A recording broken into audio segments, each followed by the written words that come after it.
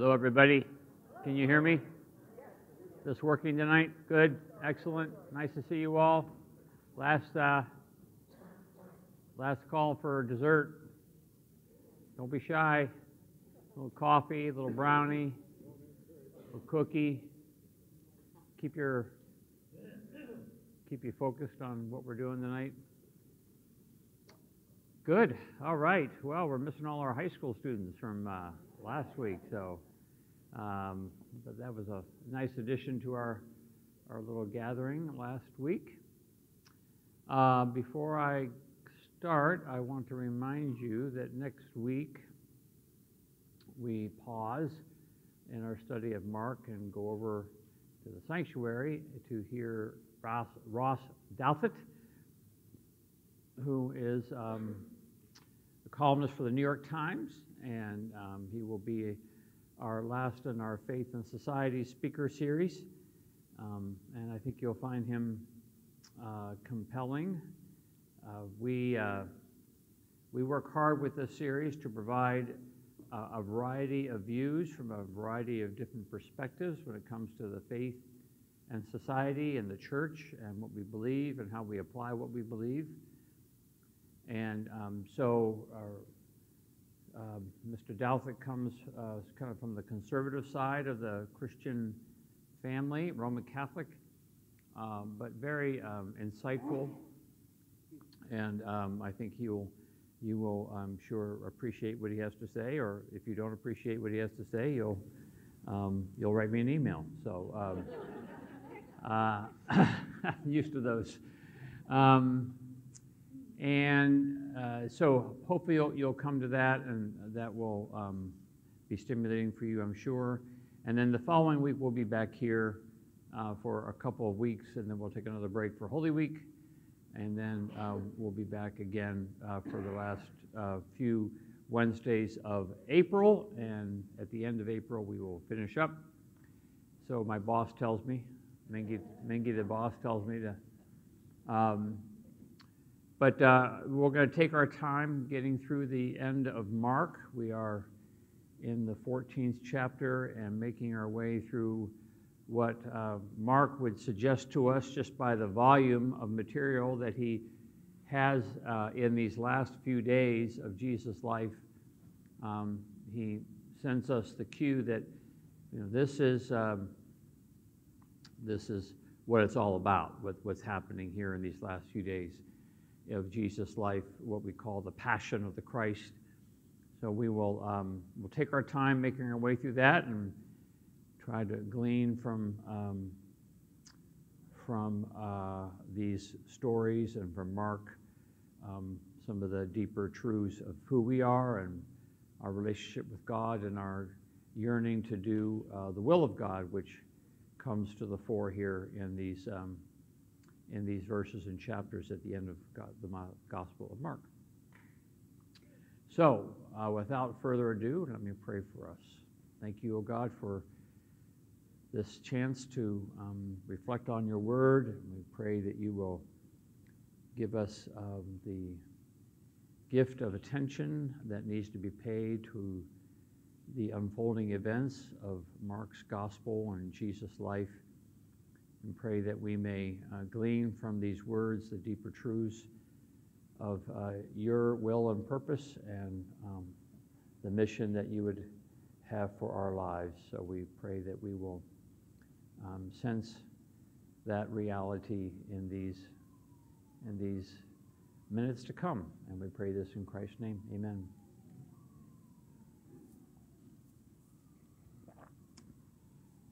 So I want to begin by reading um, a little poem that was written, let's see, 40, 50, over 50 years ago by a, a seminary uh, student by the name of Kent Keith. And I've quoted this before in, um, in a, a couple of sermons. It's a poem often attributed to Mother Teresa. Um, but it wasn't written by Mother Teresa. It was written by this young 23 year old, 24 year old seminarian Mother Teresa loved it so much that she had it hanging uh, in her uh, quarters in India.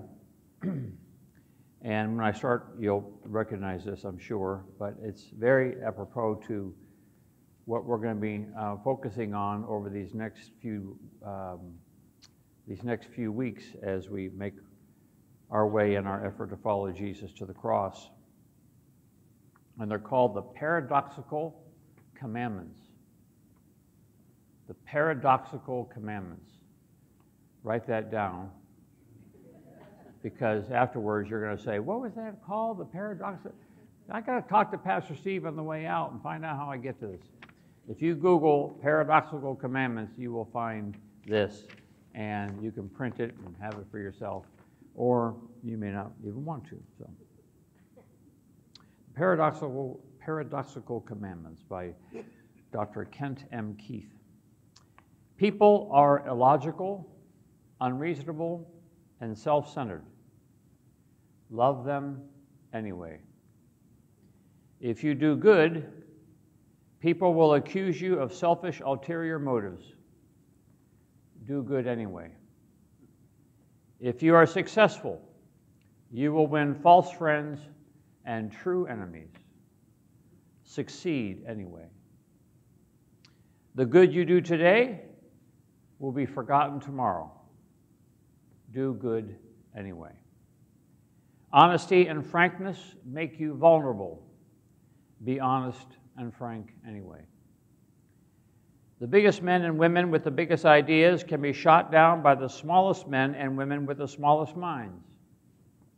Think big anyway. People favor underdogs but follow only top dogs. Fight for a few underdogs anyway. What you spend years building may be destroyed overnight build anyway.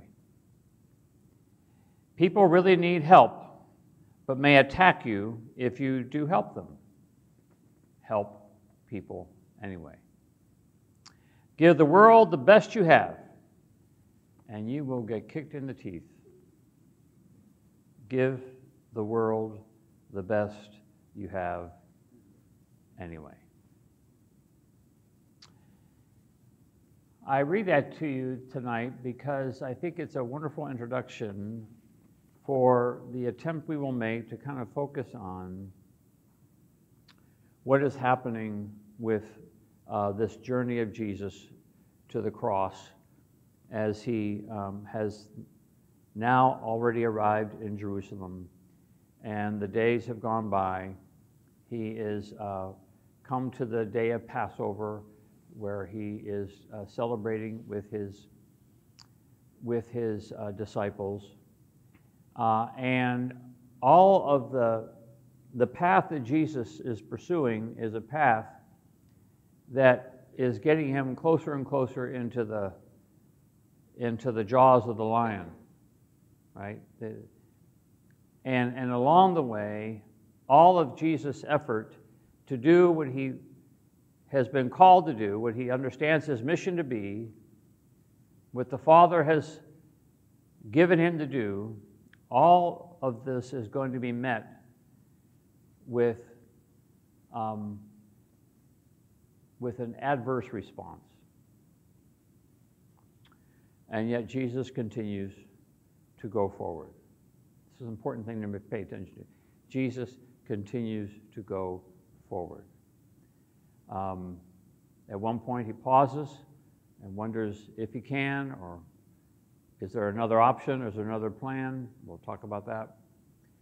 But all through this journey, Jesus is going forward. And all this is set up by a story that we looked at last week at the beginning of uh, Mark 14. You may remember the scene of Jesus with Simon the leper. He is the, he is the guest of the host of this feast. Simon the leper calls him to his home, Jesus' is guest. And who should show up but this unwelcome guest, this person who really shouldn't be there? She's got all kinds of strikes against her. Um, but she shows up. She, um, she, she um, invades the party. And, uh, and she does this beautiful, beautiful, beautiful act uh, to, um, to recognize what was happening, that there was, there was this rabbi and there is somebody here that people need to pay attention to. She, of all people, is the only one who can see who Jesus is. She's the only one. The disciples can't quite see who Jesus is.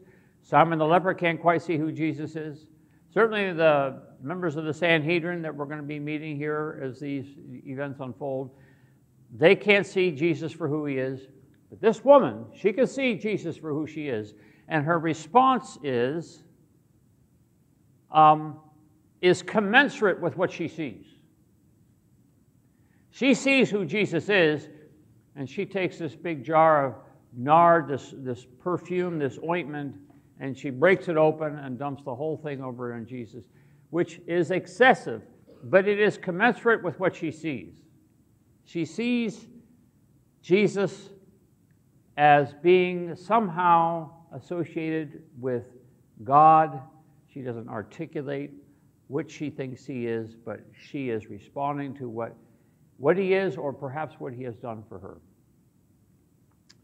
And all the rest of the people in the room stand up and applaud her. No. Huh.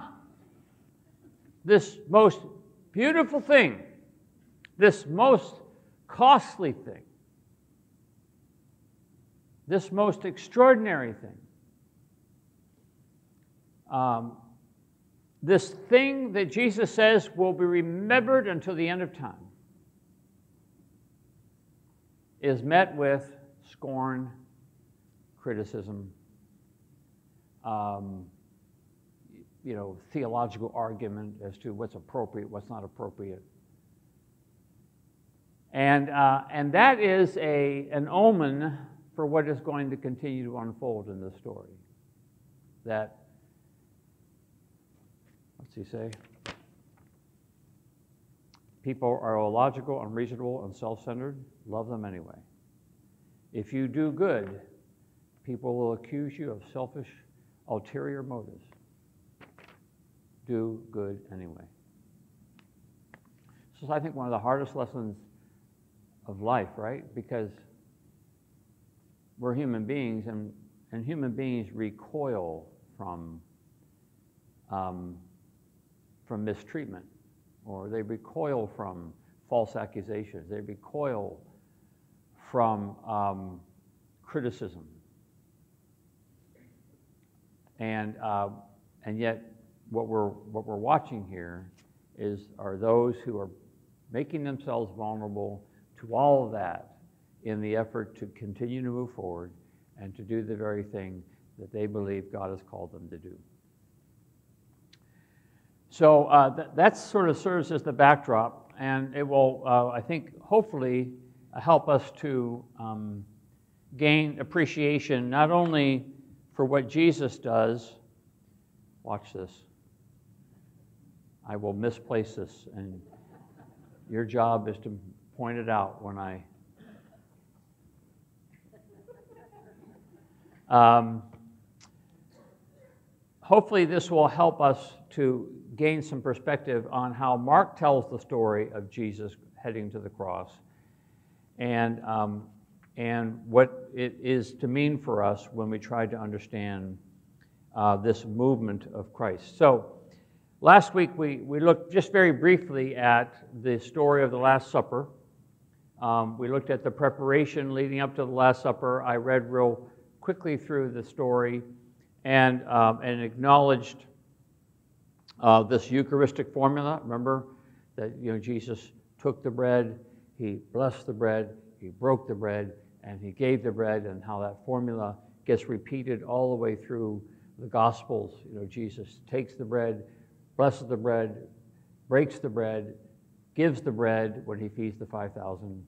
Jesus takes the bread, blesses the bread, um, and breaks the bread and gives the bread when he is serving those in Emmaus.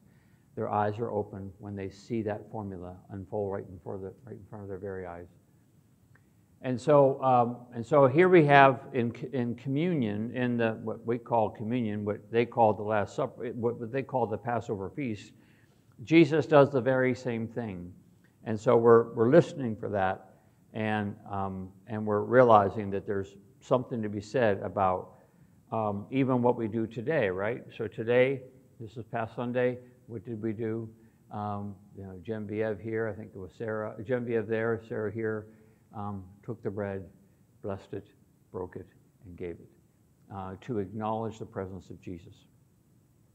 But a couple other things to pay attention to in this uh, story of the Last Supper, beginning at verse 17. If you brought your Bibles, you can read along, or uh, you can throw open your phone and you can read through that if you like. Mark 14, verses 17 and following. When it was evening, he came with the twelve, and when they had taken their places and were eating, Jesus says, Truly I tell you, one of you will betray me, one who is eating with me. And they began to be distressed and to say to him one after another, Surely not I.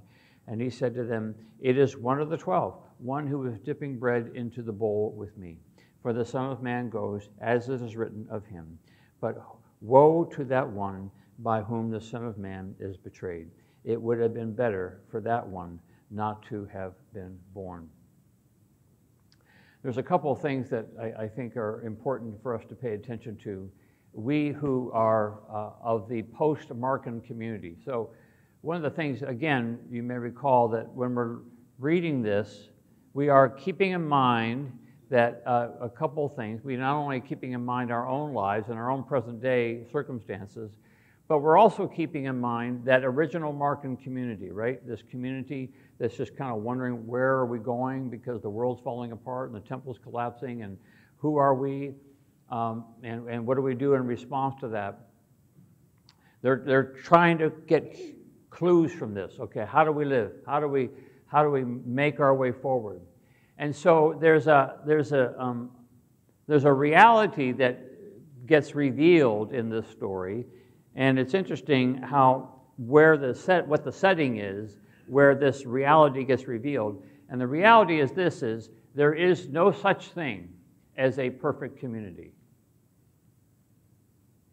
These guys have been with Jesus for 12 for 3 years. They've been traveling with him, they've been doing ministry with him, and they gather together and it's the Passover feast. They are the, they're in Jerusalem for the first time according to Mark, and John Jesus is going back and forth in and out of Jerusalem all the time. But in Mark's gospel, this is his first visit, and this is at the pinnacle where he's made pilgrimage with his disciples, and they're going to celebrate the Passover meal. They are, you know, this is the this is the Super Bowl. I'm not sure Jesus would appreciate that analogy, but this is this is the big deal, right? And there is one in their midst who has other ideas. There is one in their midst who is already enacting, putting together a plan to betray him. And Jesus knows that. Jesus doesn't ask him to leave. Jesus knows that in our midst, somebody who is dipping their bread with the rest of us is setting out to betray me. And that's an interesting model for us to keep in mind when we think about being the church, right? Because we are the new creation, we are the new community, right? That's what the church is. The church is always seeking to be the new community. That's what the Holy Spirit was all about, bringing us together and to be the new community. And guess what? If you're looking for a perfect community, not happening. And I, I, I, you know, I talk to so many people that say, well, I, I left that church because it wasn't perfect, and I went over to this church, and I left, I left that church because it wasn't perfect, and that church wasn't perfect. Or that person looked cross-eyed at me, and doggone it, I'm never going back. Um, and, and sometimes we get deceived into thinking that somehow Jesus has left behind this perfect community. Well, he couldn't affect perfect community when he had control over it. When he was gathered with his own disciples, there was this plan afoot. And Jesus acknowledges that. And, and part of, I think, what Paul talks about in 1 Corinthians 12, 1 Corinthians, in 1 Corinthians 12 and 13 and 14, is he's talking about how do we be community together? Because it isn't going to be perfect friends. And guess what? There's a lot of differences, and we don't always agree. And sometimes we don't act in everybody's interest. And sometimes uh, somebody says something we don't, you know, we think is heresy. Whatever the case may be, how do we do this? And that's right smack dab in the middle of that. Paul writes the love chapter and says, Love bears all things, believes all things, hopes all things, endures all things. Love never ends. So, and, and the church, the community, becomes the laboratory of love. You bear with one another's burdens, and you um, and you endure and um, and one another as you seek to love one another. So that's what's happening in um, in the sacrament uh, in, in the uh, Last Supper, in the, the Passover, is Jesus is acknowledging that this is the reality that we live in as I continue my way to the cross. Jesus doesn't say, and therefore, Judas, I stop loving you. Jesus doesn't say to Peter, we'll see this in a minute, when he says, Peter, guess what? You're going to deny me three times. And when you do, I stop loving you or you've got no place in the church. Doesn't say that. He just says this is going to happen. Why? Because this is the reality of what it means to be a human being. So later in this little pericope, oh, there's another word. Do you all know the word pericope? Oh, let me write that one down.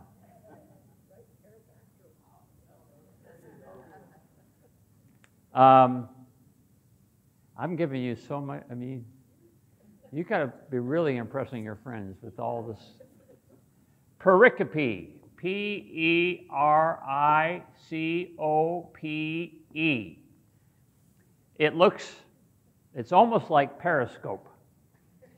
P E R I S C O P E would be periscope, but this is pericope, and pericope are those little paragraphs that you see in your Bible.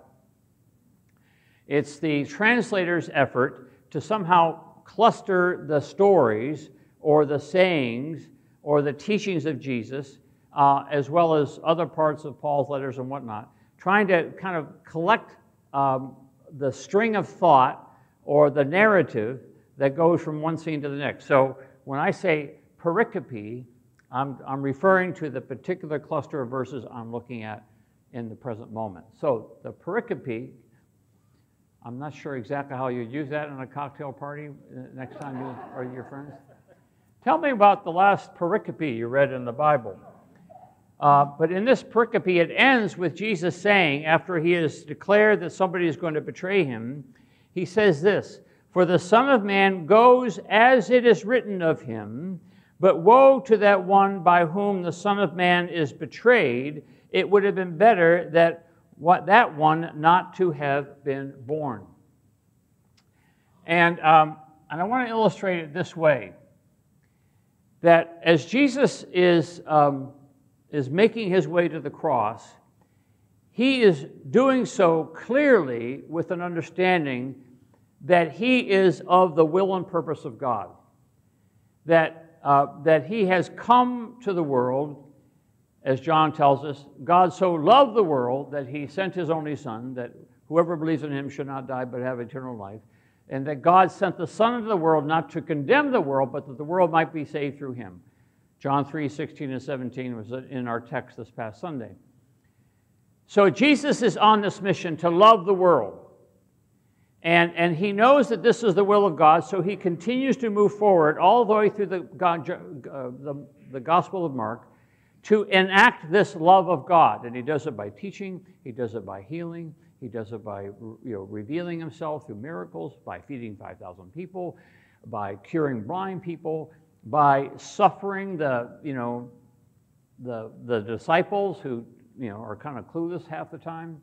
But Jesus continues down this path because he's on this mission to love the world and he has been sent by the Father. Um, and there's, a, there's this fundamental truth back to the paradoxical commandments. If you are going to be on this mission, of uh, loving the world with the divine love of the Father, um, and you are going to do so in such a way that you are not only sent by God, the Son of God, but that you are also the Son of Man. You are both God and human, right? We believe that's who we have historically come to understand that Jesus is, um, is, is fully God and fully human. So God, Jesus is experiencing relationship with the Father, but he's also experiencing the realities of being human. And we're going to see this come to spades when we see Jesus in the Garden of Gethsemane. He has, he has union with the Father and he has union with being human. And so, therefore, he experiences the glory of the Father, but he also experiences the trials of being human. And one of those consistent trials of being human is if you do good, no good deed goes unpunished. Right? No good deed goes unpunished. We say that all the time, kind of cast it off. But, but the truth is, the paradoxical commandments are, are truer than you think when it comes to how Jesus is making his way. And what Mark is wanting to show us as Jesus makes his way to the cross is that while Jesus is pursuing this will, which is to continue to be who he is, continue to be the vessel of God's love for the world, there is going to be the inevitable pushback of human beings. So when Jesus, so when Jesus says this, for the Son of Man goes as it is written of him, meaning as the Son of Man continues down this path of loving the world, sacrificially giving himself for the world, woe to that one by whom the Son of Man is betrayed. Because inevitably, this is you know, pretty profound theology here, inevitably, if you pursue the will of God, you are going to pay for it. You don't get off if you pursue the will of God. You don't, God doesn't like put a shield of protection around you and say, oh, well, as long as you do my will, everything's going to be fine. No, quite to the contrary. To pursue the will of God, as it is written, Jesus says, guess what? There's going to be somebody shows up and says, I will, I will double cross you. I will, I will um, betray you, and later I will deny you. Oh, and later I will desert you. But that comes with the territory. So there are two things happening in parallel Jesus seeking to pursue the will of God, and the, um, and the efforts on the part of many, including the Sanhedrin, to, uh, to get in the way of that pursuit. And that is as natural as That is as natural as it is for us to be human. My, uh, my, my granddaddy used to say that the definition of original sin is to put two two year olds in a room with one toy. And, and that's a, it's an interesting illustration because those two two year olds, they are we call them free agents, right? We say human beings are free. They're free to, you know, that we, we, we, we celebrate the freedom that God gives us. You know, we have freedom to make choices. Those two two-year-olds are they're free. You put one toy in, shut the door. It doesn't take but 30 seconds before they're screaming and yelling and one toy getting slammed on top of the other toy, the other kid's head. And you say, and, and, and we, because we are wise adults said, Well, we knew that was going to happen. Well, yeah, but it didn't have to happen, right? But that's the reality of our human condition, right? As, as much as God would give us God's blessing, oh, we have a way of turning that around and going to war about it, right? God sends his only Son into the world and we strap him to the cross. That's a part of what it means to be a human being. And so, one of the sobering things, and this is why it's so good that we're studying this in the midst of Lent, one of the sobering things about our about the study is that it invites us into ourselves. And as we're studying these disciples, and as we're studying the, re, the response and the um, um, you know, and the pushback that they're offering to what Jesus is doing, it's an invitation not to say, well, you know, you know, if I if that had been me, I wouldn't have done that. No, Mark's saying, oh no, no, no, no, no. You're sitting at table with Jesus, and you're one of the betrayers. You're one of the deniers. You're one of the deserters. Get real. And, and we're being set up for an ending that is, you know, is pretty significant. But we have to make our way to the cross and experience what the disciples are experiencing. So as the you know the Son of Man goes, as it's written, this is the way it's going to be. God's going to love the world. Oh, and by the way, too bad for Judas because he gets to be the representative of the human condition.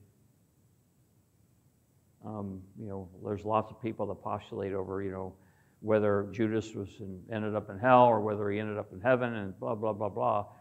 The reality is, I think the invitation for us is to say, well, you know, before you start thinking about all those things, just understand you are in Judas' shoes.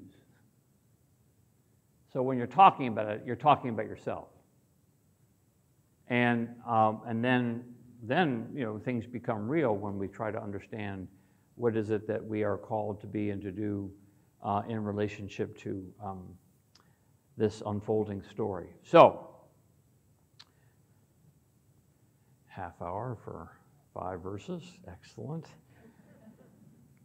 While they were eating, Jesus took a loaf of bread, and after blessing it, he broke it and gave it to them and said, Take this as my body. Then he took a cup, and after giving thanks, he gave it to them, and all of them drank from it. And he said, This is my blood of the covenant, which is poured out for many.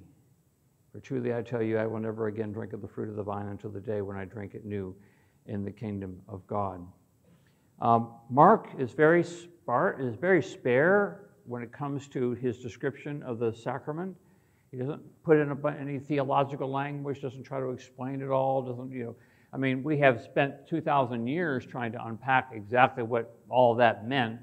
What did Jesus mean when he said, This is my body broken for you? What does Jesus mean when this is, you know, the cup of my cup of the cup, my blood of the covenant poured out, not just for you, but for many? Well, we've been trying to unpack that for 2,000 years. But there is this, um, there is this meal, this meal of Passover. Jesus is, you know, enacting this uh, important Jewish feast, this important Jewish celebration, and uh, and but he um, puts himself into it and allows these to be symbols of something that is unfolding. And, and what's unfolding is that the Son of God is, is coming into the realities of human existence, and the reality is, is that the body will be broken as a result of this. The cup will be poured. Um, we, in hindsight, can see the finger of God making its, his way through this. But in, in real time, all they can kind of interpret is this rabbi is, is saying something about these elements that for them probably doesn't make a whole lot of sense. They haven't gotten to the cross yet. In fact, what happens in response to that in verse 26 when they had sung the hymn anybody have an idea what that hymn might have been amazing grace um, joyful joyful we adore thee oh god our help in ages past yes it's part of the seder and there were uh, there were six psalms in the middle of the book of psalms psalm 113 through 118 which were um, uh, to be sung during the Passover feast. Um, 113, I think, through 115 are sung at the beginning, and then at the end are sung uh, 116 through 118. Don't hold me to those numbers, but uh, many believe that this hymn was at least you know, one of these latter psalms and what's called the Hallel Psalms, 113 to 118. And so Jesus uh, and the disciples sing a hymn, they recite the psalm, whatever it might be, and they uh, make their way from, uh, from, Jerusalem, from the heart of Jerusalem to the Mount of Olives. Now, you may remember what I said last week that Jewish pilgrims were required to celebrate Passover, meaning the 24 hours of Passover inside of Jerusalem. But uh, many scholars believe that you know they they had to do a little bit of um, you know gerrymandering when it came to the Jerusalem because there were so many pilgrims that the Mount of Olives itself became a place where one could continue one's celebration of the Passover. All uh, you know, good good Jews in this Markan community are overhearing this, and they're and if they you know remember their stories from 1 Samuel and 2 Samuel, they remember that King David, uh, who was betrayed by his own son Absalom, and one of his friends who was betrayed by these two in Absalom's effort to usurp the king. We read in 2 Samuel where David retires from the heart of Jerusalem and makes his way up to the Mount of Olives. And there he weeps. So those good Jews are listening to this story and they're saying, This is the son of David who has made his journey from Jerusalem to the Mount of Olives, where he weeps for what is happening to him um, by those that to, with whom he is the closest, uh, his own disciples. Um, and so they go out to the Mount of Olives, and Jesus said to them, You will all become deserters, for it is written. Mark continues to sort of use this formula. It is written because this is a plan of God, God's unfolding plan. Um, and, and I think what's important for us to pay attention to when we talk about God's plan is that God's plan is revealed when we are pursuing God's mission. Um, there's, a, there's a lot of uh, corny theology out, out there that wants to say that everything that happens to me is God's plan. Hmm. I'm not sure that's a New Testament understanding, especially if we focus on the mission and purpose of Jesus. What happens to Jesus is the result of his effort to love the world. He is paying the consequences of the agape love, the sacrificial love. And so when we, um, when we see Jesus making his way and these things happening to him, we, we got to keep focused on the fact that um, what we're being called to, remember we've been talking about the way, Jesus is revealing to us the way, the truth, and the life. When we're called to the way, we must understand that the consequences of God's plan is adversity. You, you really can't get around it. Um, because God's ways are not our ways, God's thoughts are not our thoughts. And so these are the kinds of consequences that are bound to happen. So Jesus says, um, For it is written, I, well, he says, Jesus said to them, You all will become deserters, for it is written, I will strike the shepherd, and the sheep will be scattered. That's from Zechariah chapter 13. But after I'm raised up, I will go before you to Galilee. And Peter said to him, Oh, even though all become deserters, I will not. Good old Peter. I'm, I'm Peter. Are you Peter? Jesus said to him, Truly I tell you, this day, this very night, before the cock crows twice, you will deny me three times. But Peter said vehemently, Even though I must die with you, I will not deny you. And all of them said the same. So, again, the consequences. John's gospel tells us of a, a more proactive God when it comes to how all these events are orchestrated. For example, John will say, when, um, when the devil put it into Ju- when, when the devil put it into Judas' heart, um, it's almost as if God is kind of backing away and letting the devil kind of do his thing. Um, in, in Mark's account, it's this sort of proactive Jesus who is experiencing the consequences uh, of his love. Including this uh, fickle friend that he has named Peter, who claims that he will uh, be with him all the way to the very end. And Jesus says, No, three times you will deny me. And so, uh, in response to that, they go to the place called Gethsemane in the Mount of Olives. And in verse 32, he said to his disciples, Sit here while I pray. And he took with him Peter and James and John. And we remember these three because they've been taken by Jesus to other places to experience um, the manifestations of Christ. Uh, the one we perhaps most remember is they are taken to the top of the Mount of Transfiguration and see Jesus transfigured before them. And they, um, they, are, they are invited into that communion of glory. Uh, but guess what? It's not always a communion of glory. Sometimes it's a communion of suffering.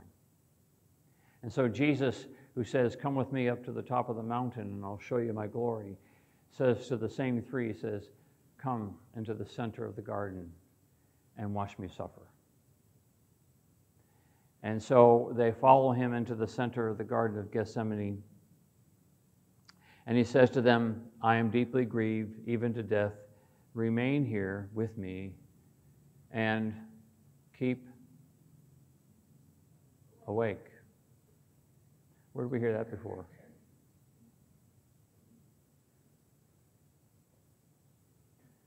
Remember when Jesus is talking about the eschatological, the end of time, and the return of the return of Christ, and he says, "Keep awake, keep alert, keep awake, keep awake." And so, not two chapters later, Jesus pulls his disciples, his top three, uh, together with him into the middle of the garden, says, "Suffer with me, suffer with me, just stay awake." And, uh, and going a little further, he threw himself on the ground and prayed that if it were possible, the hour might pass from him. And he said, Abba, Father, for you all things are possible. Remove this cup from me, yet not what I want, but what you want. And he came and found them sleeping. And he said to Peter, Simon, this is the same Simon who, like six verses before, has said, I'm your guy. Simon, are you asleep? Could you not keep awake one hour? Keep awake and pray that you may not come into the time of trial. The spirit indeed is willing, but the flesh is weak. So, we're talking about Jesus pursuing this road of love, this path to the cross and he's experiencing communion with the Father and he's experiencing the realities of being human, all the way to the point where he doubts the mission. He doubts the mission. This is what happens to all the saints, right? They, they pursue what they believe to be the pure call of God, and they work their way into the mouth of the lion, into all the pushback, all the adversity, all the criticism, all the, the woundedness that comes with that. And there comes a time where they doubt the dark night of the soul. Jesus is bearing our humanity, and he's experiencing the dark night of the soul, where he doesn't know whether he can go on. It's not unlike the prophet Elijah, who does what God calls him to do and and has that great contest on the top of Mount Horeb, and and he um, you know he defeats the prophets of Baal, and um, and that but the, re- the the reward for all that is that he becomes a fugitive, and the king of Israel is chasing him down, and he finally just gives up and says, "Enough, I'm done." Yeah, I know I'm a prophet. I know I'm go- I'm done. And that's a part of this journey. That's a part of this calling that if we take it seriously, we are inevitably, inevitably going to experience. And Jesus, in a sense, says to the Father, Mark calls it Abba. There's been some mistranslation of that word Abba. I've heard a lot of people talk about, you know, this is Jesus using a very intimate um, image of Father, like daddy, like a little child would say daddy. But uh, from what I could tell, working on this passage over the last week or so, is that Abba is actually more of a, a, a title of respect. Abba is Father. Abba is our Father who art in heaven. It's I know who you are, and I and I respect you, and I want to do your will, but I'm asking that you take this cup from me. I can't do it. Um, if you've ever had that experience in life where you can't do it, where you feel like you just can't go any further, well, know that Jesus has had that experience too. That he, he can't go on any further. And what's, what's Mark's setting up for us here is um, this is a very unique king this is a very unique Savior. This is not um, a Marvel comic character. This is not some Superman hero. This is the one who is doing what he, what he, he knows he should do. He's pursuing the hard path, and he gets finally overwhelmed at what faces him, and he um, he encounters it like you and I would encounter it. Because he is embracing our humanity while he seeks to be about the mission of Christ, the mission of God, which is to love the world. And you know that that should give us great hope, I think, because uh, when we read this story of Jesus, um, we're basically invited into this journey that we know that Jesus has taken already, so that when we suffer, we know that our Lord has suffered with us. When we are, when we get, when we face adversity, we know our Lord faced adversity. When we want to give up, all we know that our Lord wanted to give up too. When we pray, let this cup pass from me, we know that Jesus prayed the same prayer. And so with that comes hope because it, we, we can never, we, we can hopefully sense that we are never alone as we are seeking to pursue this mission of love. Um, and so Jesus is not only let down by his disciples, but uh, continuing on, uh, he says, uh, Mark says, and again he went away saying the same words, and once more he came and he found them sleeping, for their eyes were very heavy, and they did not know what to say to him. And he came a third time and said to them, Are you still sleeping and taking your rest? Enough, the hour has come. The Son of Man is betrayed into the Son of Man is betrayed into the hands of sinners. Get up, let us be going. See, my betrayer is at hand. So Jesus has this moment of doubt, the stark night of the soul. And yet at the end of the day, he gets up and he continues on. I didn't like much of The Passion of the Christ, Mel Gibson's The Passion of the Christ. Have you seen that movie? Few of you have.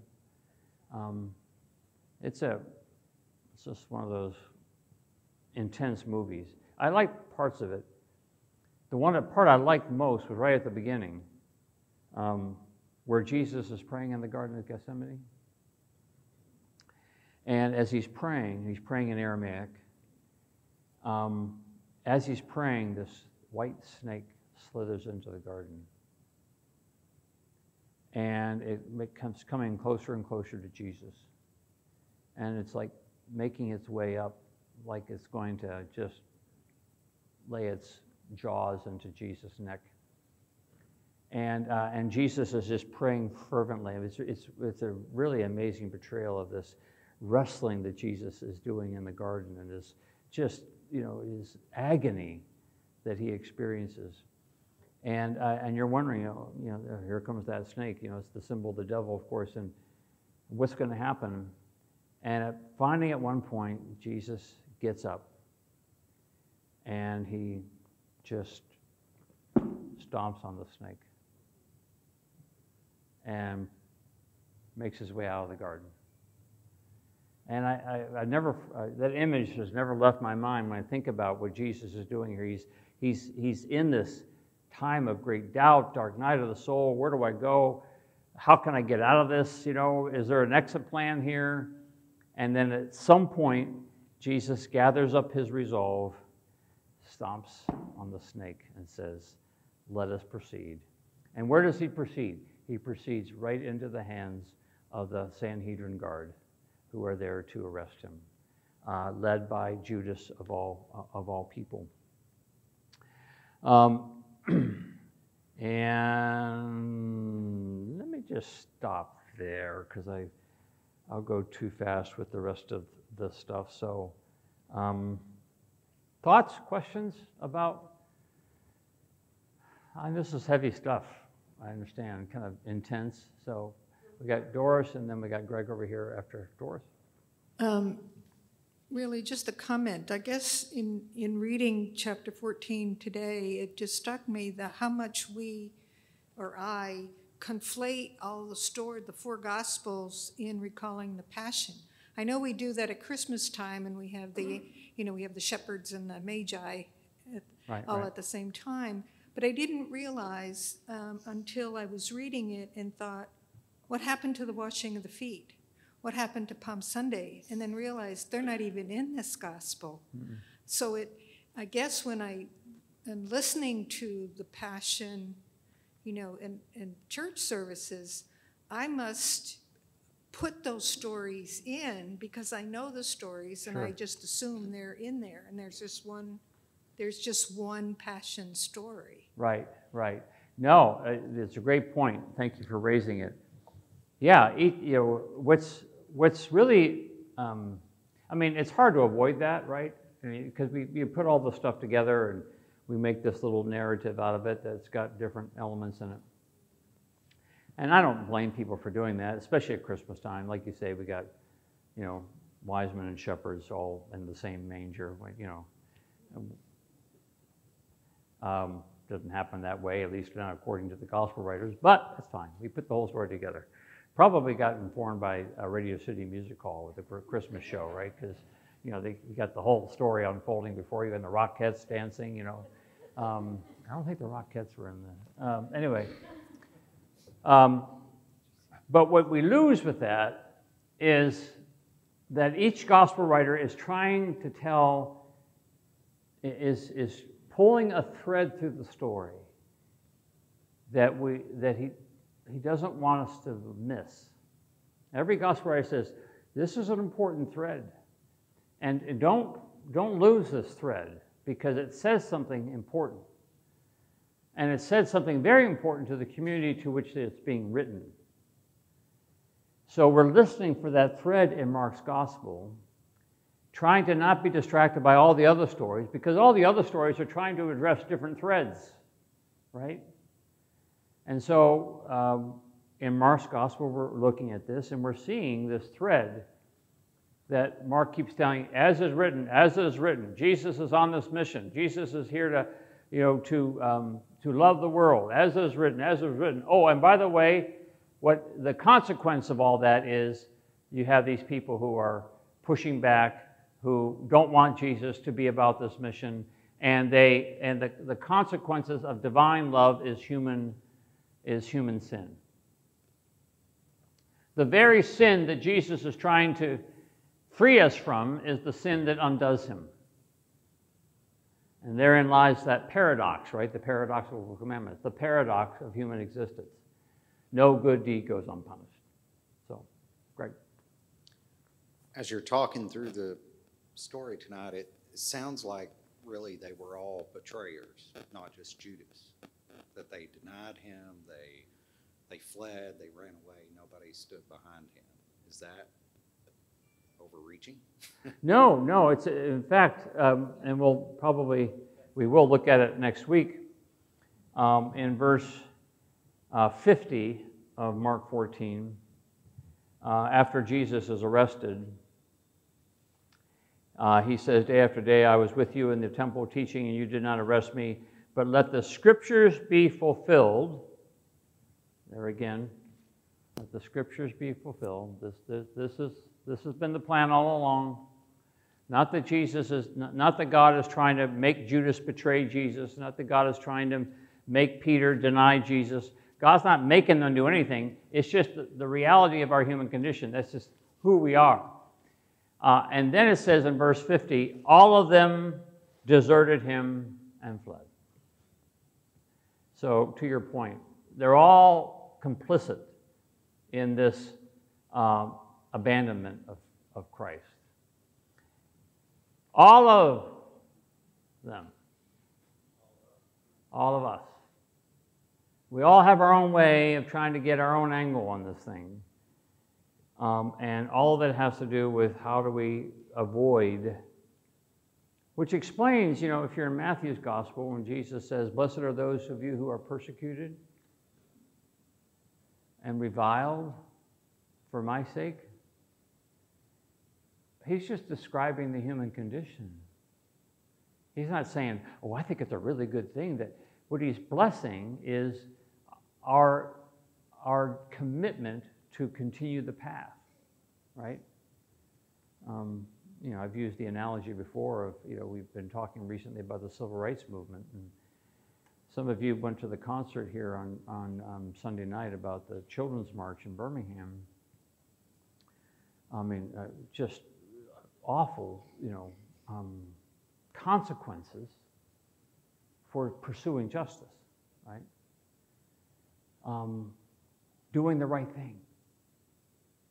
And what when you do the right thing, the world's going to turn on you because the world doesn't want the right thing.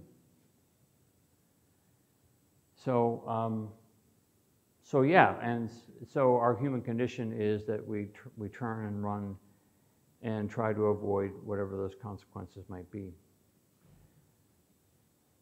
Another minute or two if you have any other questions.